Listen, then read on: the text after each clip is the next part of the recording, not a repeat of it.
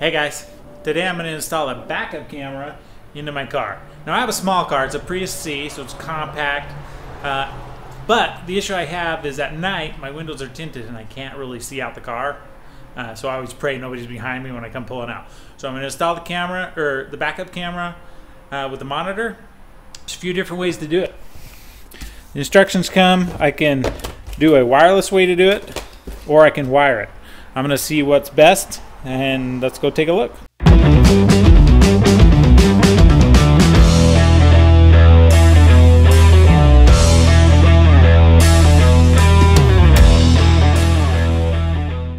Okay, so I got the camera on there. And I got this cable I gotta hide. I'm gonna run it right up to this light here. But in order to get this light off so I can pop it in there, I've got to get inside the car uh, to pop it off. Okay, I got the light loose. I'm just gonna string my cable up in there.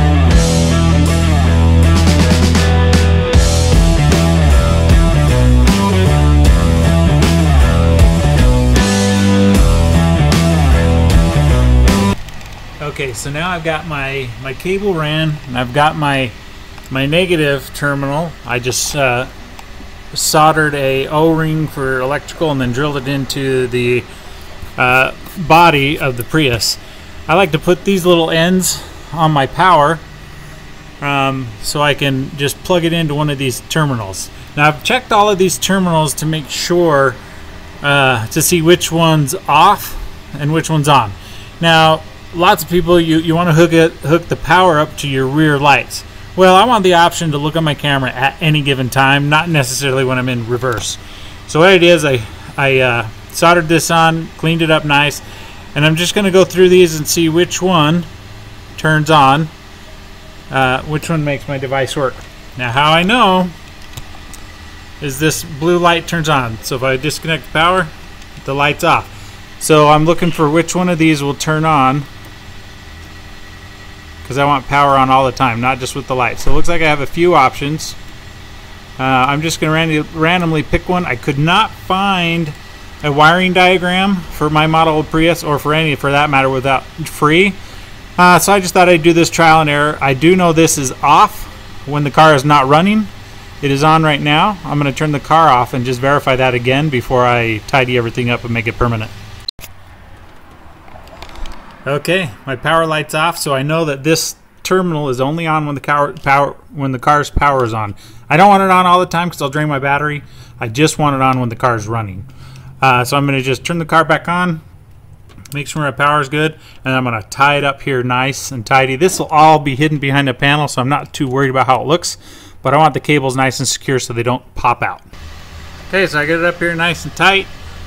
That's not going to come out. My power light's still on because my car's on and running. I try to, you want to try and make sure these are good and tight wherever you put them so you don't rattle because you don't want to add any noise into your car.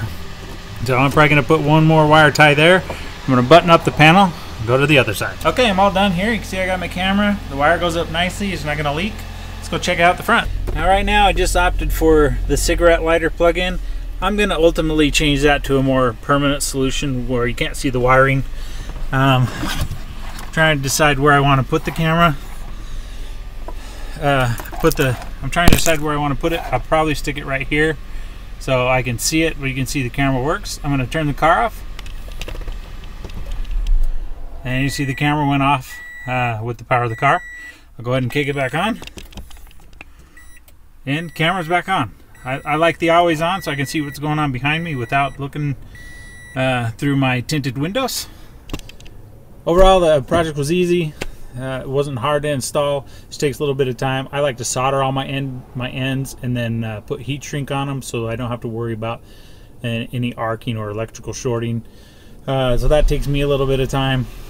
Uh, I still need to wire it so it's a little more permanent and I can free up my cigarette lighter for uh, other things. I currently have my my dash cam plugged into it. So I'll either split it or just make it permanent uh, right now I'm just going to test it out for a bit and uh, see how I like it and make sure it's where I want it. Uh, anyways, happy driving, safe driving, and have fun.